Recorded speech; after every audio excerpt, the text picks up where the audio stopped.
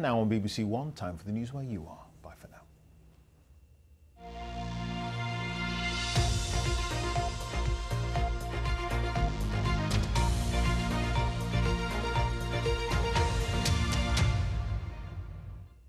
Hello, good evening.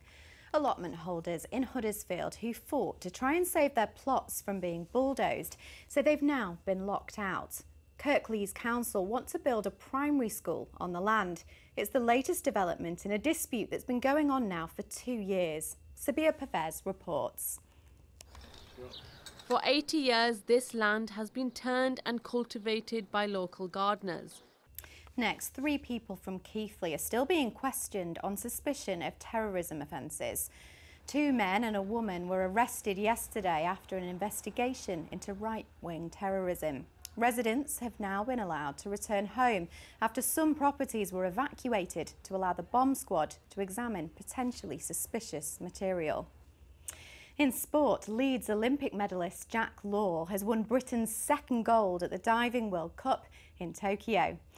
Here it is. This was the winning dive with his partner Dan Goodfellow in the synchronised three-metre springboard final.